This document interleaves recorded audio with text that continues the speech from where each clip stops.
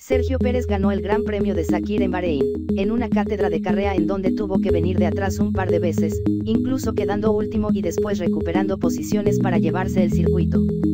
Checo confirma su gran calidad como piloto y Racing Point sumó un triunfo importante en el campeonato de escuderías. Este es el primer GP que gana Sergio en su carrera en la Fórmula 1 y el segundo podio de esta temporada llena de polémicas y tensión con su equipo.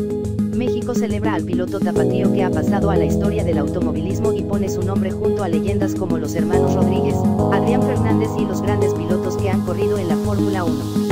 Tras consumar la victoria, el piloto de Racing Point se mostró muy emotivo. Y no es para menos, pues no pudo contener las lágrimas al escuchar el himno nacional. No olvides suscribirte a canal Tuitealo y dejar tu like.